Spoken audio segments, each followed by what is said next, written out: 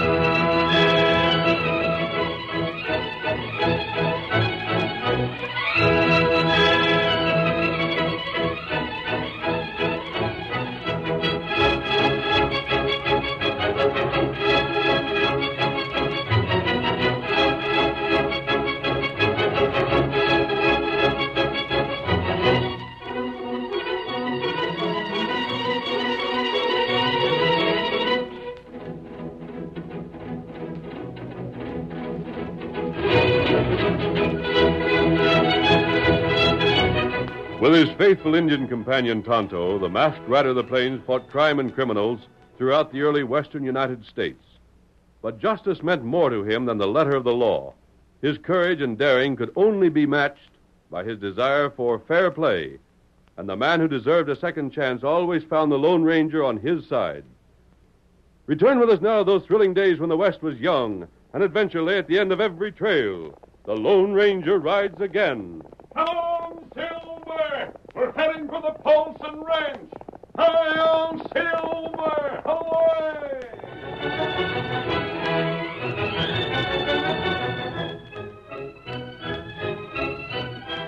Tom Byerly rapped at the door of Mark Paulson's ranch house. Then, Evening, Mark. You don't mind my being a couple minutes late, do you? Well, look who's here. Howdy, Carl. Howdy. Evening, Judd. Say, I didn't know this was going to be a regular get-together. Gosh, Mark invites you to his party, too, Tom? How are you? Oh, fair to middling, Carl. Well, Mark, what are these two old moss bags doing here? Eh, Come to think of it, I ain't rightly sure I know what I'm doing here. What's on your mind, eh? Sit down. I don't mind if I do. Say, I ain't taking the last chair, am I? I'll stand, thanks. well, it's your choice. Me, when the day's done, I kind of like to sit and rest myself. Expecting any more besides us, Mark? No, just the three of you, Judd. Well, uh, what's up? Anything wrong? Hanker after advice and counsel? or, or did you just get us over here for a hand of poker, maybe? Huh? Oh, now there's a thought. One moment. Oh, sure. I might as well get to the point. I suppose each one of you is wondering why I asked you to drop in tonight. I reckon you had a reason. I did. Is something we can help you with?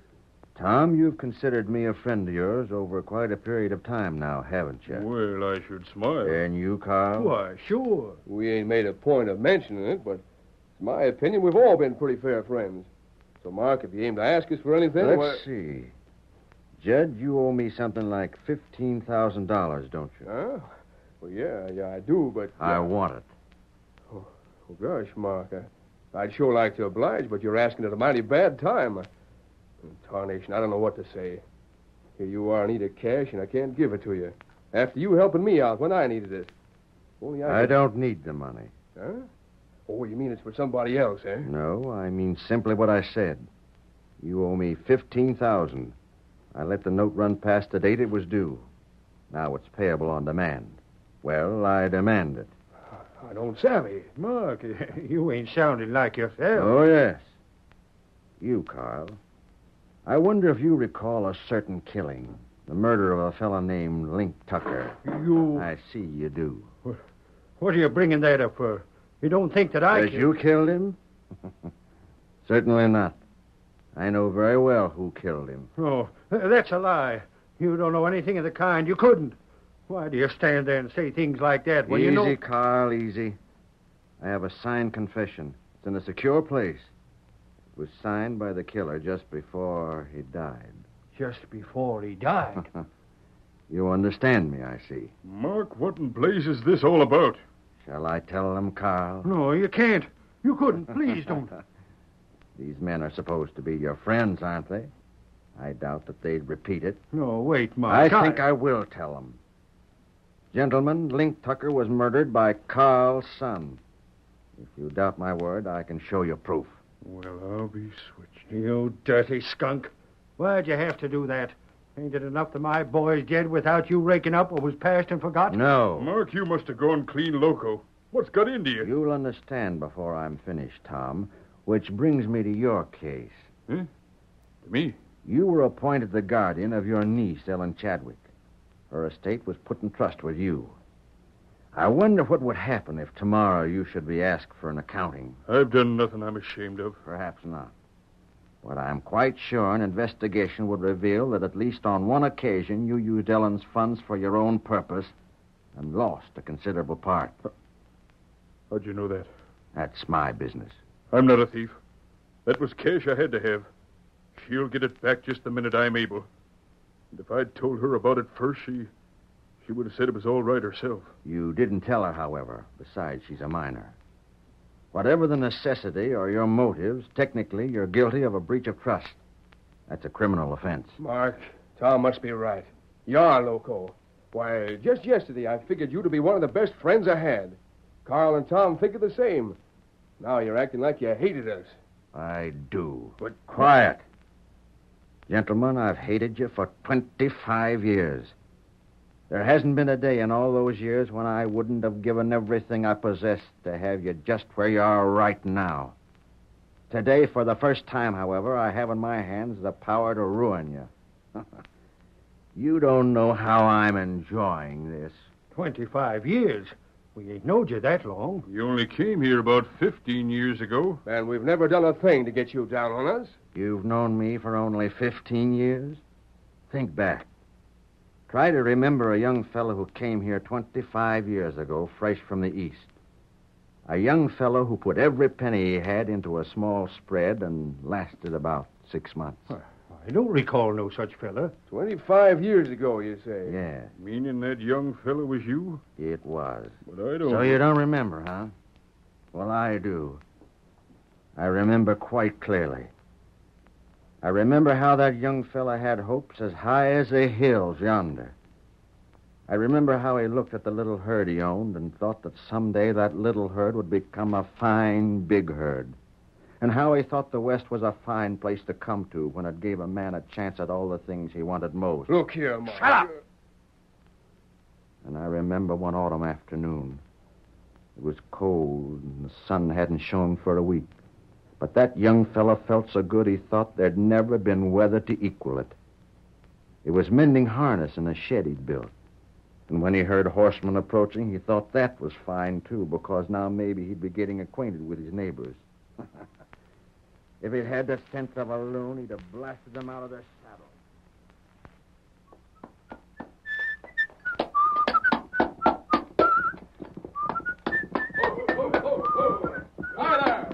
Hello there. You're the fella that owns this spread? Sure.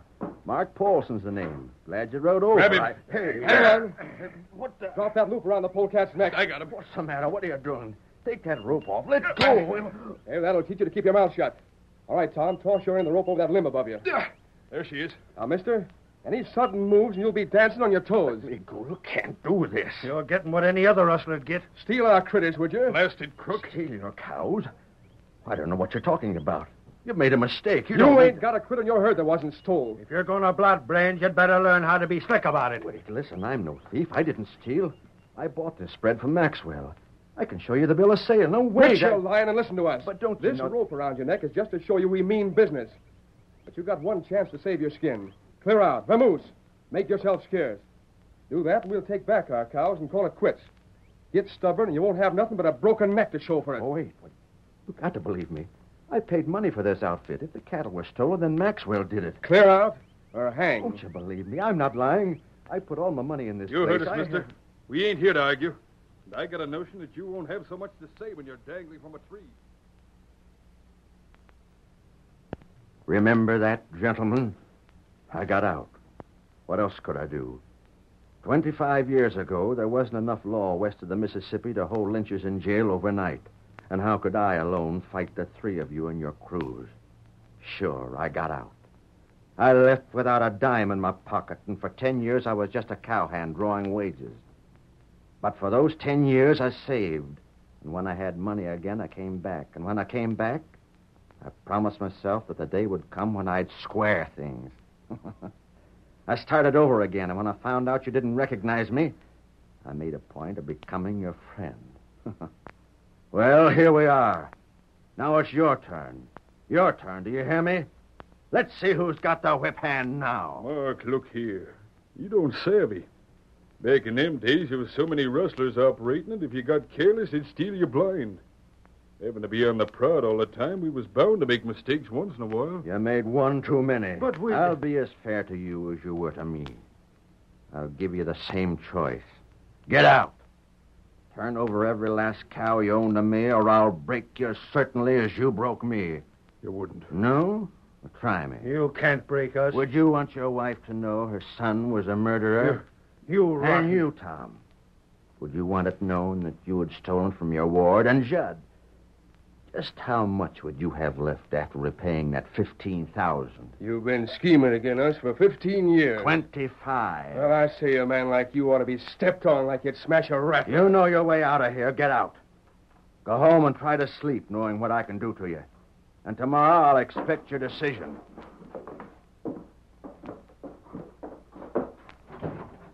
You're top dog now, Mark. You bet I am. But I wonder if you live long enough to enjoy it. Threatening me, huh? Well, Mark, Laura, I thought you'd gone to bed. I heard everything that was said in here. Well, Are you completely mad, Mark? Did you mean those things? I never meant anything more. You knew this story when I married you. I told you then what I planned. I thought you'd forgotten. No. I never dreamed you were like this. I know that any man would resent an injustice, but no man in his right mind would live on hate for years. I repay my debt. But, Mark, these people have been our friends. Tom's wife is my best friend. Why, our boy's been keeping company with Ellen. Mark, you aren't going through with this. I am. I say you're not. Don't interfere. I will interfere. I won't let you ruin their lives. And ours. Laura. Wait. Mark, have I been a good wife to you? Of course. Do you love me? You know I do. And tell me you were wrong. Tell me you changed your mind, that you'll ask those men to forgive you. No. Very well, then. Honey, what are you going to do? I'm leaving you. You don't And mean... I'm going along. Son. Mo's right. Ray, you're forgetting I'm your father. I'll do my best to forget. Why, Take your hands off of me. Come along, Ma. I'll hitch up the buggy and we'll go into town. Ray, you shouldn't. If you can go, I can. Laura, Ray, Goodbye, Pa. If you change your mind about things, you can find us in town. wait. Come back here. I forbid you to leave. Do you hear me? I forbid you, Laura. Come back. Come back here. If you don't come back now, then don't ever come back. All right, don't ever come back. Mark, Mask. get back inside. Will you? We're having a talk. A mile from Mark Paulson's ranch house, three horsemen had drawn up beside the trail and I, I don't like it. Do you think we do?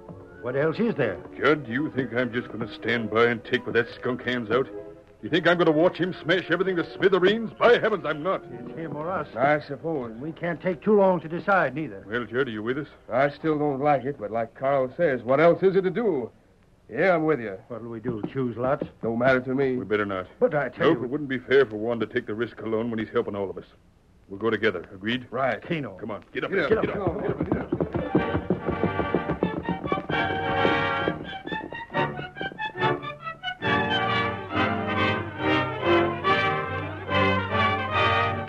The curtain falls on the first act of our Lone Ranger story. Before the next exciting scenes, please permit us to pause for just a few moments.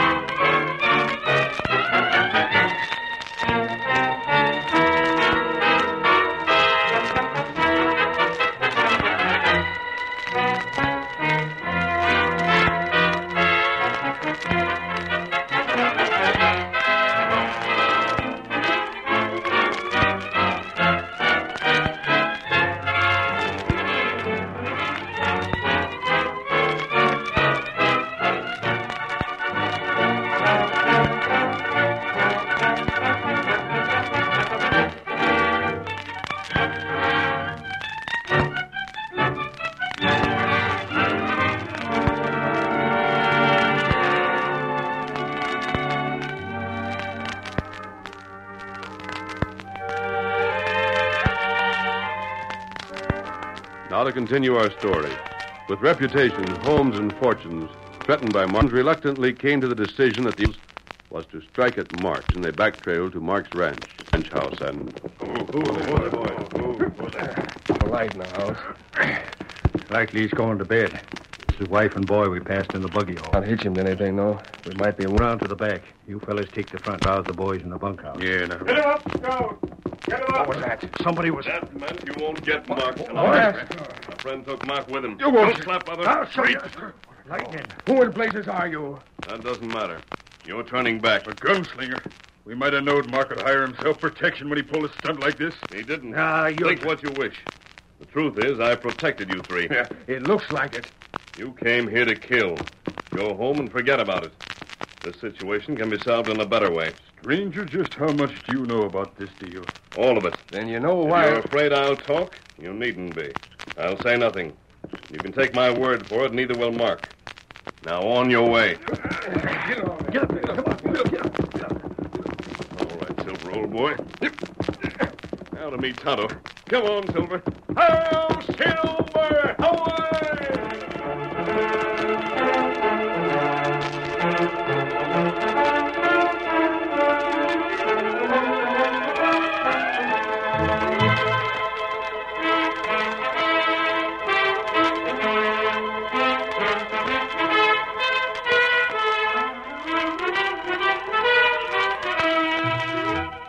Ranger raced to the secret camp he shared with Tonto, his faithful Indian companion.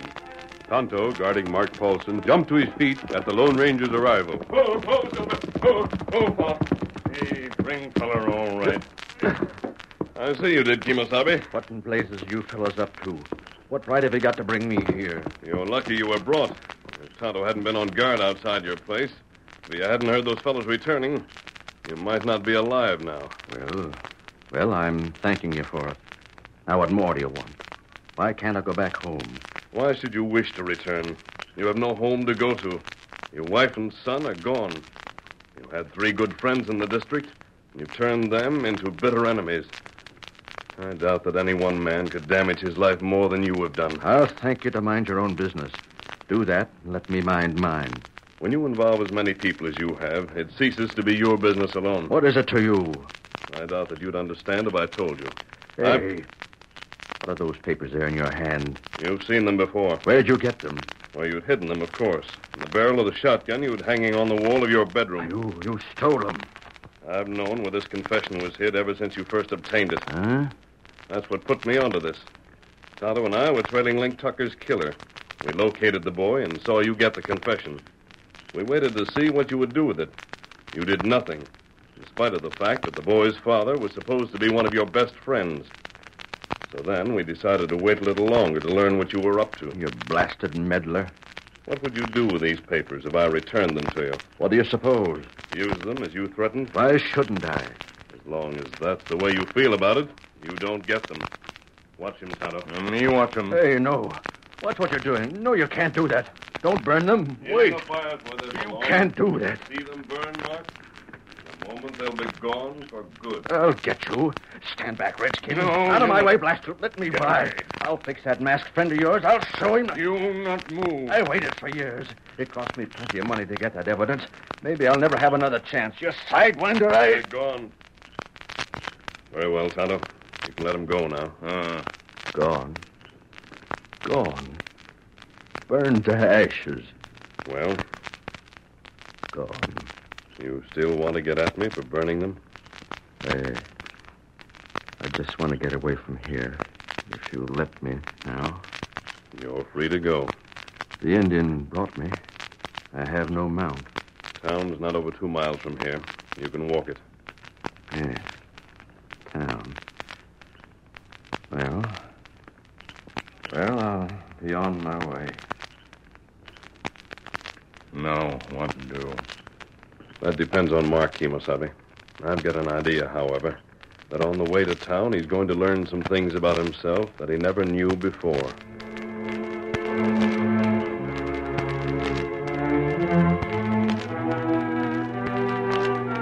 It was late when Mark arrived in town.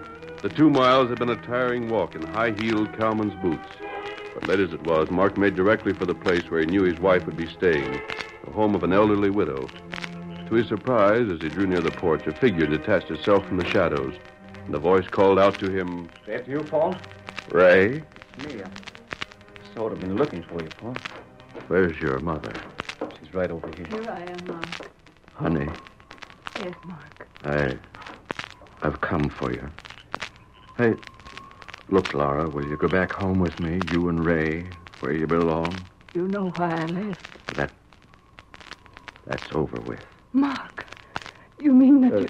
The masked man spoiled it for me, burned the papers. They're gone. Oh. Oh, that's why you're here. Huh? What's the matter? I can't go back, Mark. But, Laura, didn't you hear me? Didn't you understand? I said the papers are gone. I. I couldn't prove a thing. Not even the judge owes me money. I thought you'd come for me, Mark. I'd hoped it'd be different. But you haven't changed. You're still bitter. Only the circumstances have altered. Isn't that so, Mark? No, no, it's not so. Mark, I. I don't quite know how to put it. you can try. Well. Well, do you remember back when we were saving so we could buy a ranch? Do you remember how wonderful we thought it would be when we had our own place? Oh, yes. Well, we got it finally, and it was pretty nice. Only somehow it wasn't quite the great thing we'd expected it to be. Do you see?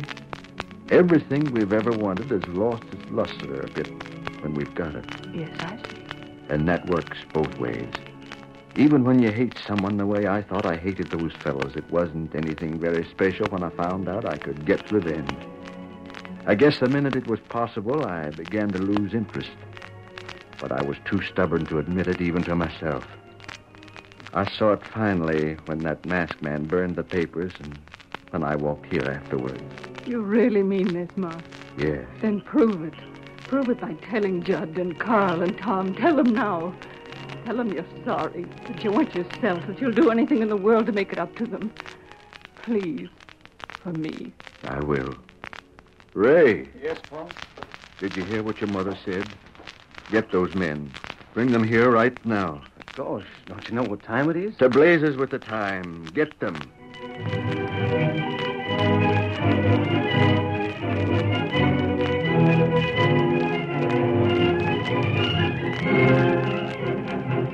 It was almost three hours later that Ray completed his errand. He returned with the three men Mark had interviewed under such different circumstances earlier that night. Well, you polecat, what have you got up your sleeve now? It better be important. Please, Judd, Carl, Tom, let Mark tell you what he wishes to say. We ain't stopping him. All right, Mark. Speak up. I've been talking this over with my wife. Forget what I said this evening. I I didn't mean it. At least I don't mean it now. That's over with. Carl, I'll say nothing about that confession. Tom, that other matter, well, that's your affair, not mine. And and Judd, that fifteen thousand can wait. I told you I didn't need it. That's true, I don't. You can take your own time. Hmm, this, what is this? What's behind it? Nothing. Nothing beyond what I've said. Those threats. Well, I've forgotten them. I don't believe it. Oh, but you must, Carl. Mark is sincere. Men, I don't expect you to feel friendly again. I wouldn't blame you if you hated me as long as you lived. I'm not asking for friendship. All I ask is that you accept my word. That'll be easy. Thank you. On one condition. Yes? You say Judd can take his time paying you back. All right, make out another note saying so. I will. Then give me and Carl back the proof he was holding over our heads. We'll tear it up, and then that'll be over and done with. But, Tom, I can't do that. Eh? Those papers are already destroyed. How do we know that? A masked man burned them up. Uh, more tricks. I'm telling you the truth. A masked man. Your hired gunman. He'd be likely to burn up them papers, wouldn't he? What's the game? What you figure to get by tricking us? Come on, tell the truth for once. How many times do I have to tell you I am? How many times in the past 15 years did you make believe you was our friend, which was just the same as a lie? Oh, Mark, if only the stranger hadn't burned them, you He could... didn't. Once. I showed you those papers and let you identify them, Mark. But those weren't the papers that went into the fire. I saved them. I wanted to see what you would decide to do. If you would held your ideas of revenge, then I would have destroyed them. But, but you didn't? No. Take them. There. Now they're in your possession again. The rest is up to you. Stranger, I'll never forget this. Judd, Yeah? that note. Here you are. Tear it up, burn it, do anything you want with it. It's yours. We'll make out another later, or I'll accept your word alone if you wish it. Mark, I. I. Oh, rats. I don't know what to say. The confession your boy signed, Carl. Thank you, Mark. And Tom, the evidence I'd gathered against you. if if you'd like to give me a good kick where it'd do the most good, well, I won't say anything against it. Why, shucks, Mark. That ain't what I had in mind at all. I deserve worse. Well, look, Mark. You asked us over to your place this evening. I reckon it didn't turn out so good. But what would have happened if the masked man hadn't taken a hand? Yeah, there's that. Only what I was thinking was that the four of us might get over to your place again tomorrow night. But Now, I, don't uh, interrupt me. When I made the suggestion before you butted in, look how you got yourself in a fine fix. I said last night we ought to play some sociable poker. But tomorrow'll do just as well, and if you're for it, so are we. Now, what do you say? Why, the only thing I can say is that it's great to have real friends. The